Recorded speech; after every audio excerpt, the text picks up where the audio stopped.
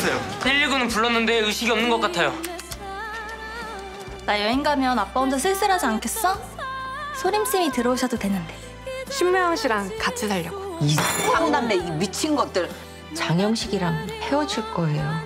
어? 상준이랑 고모한테 용서를 구하려무나. 제발 위선 좀 떨지 마세요 할머니. 아빠 진짜 왜 이래요?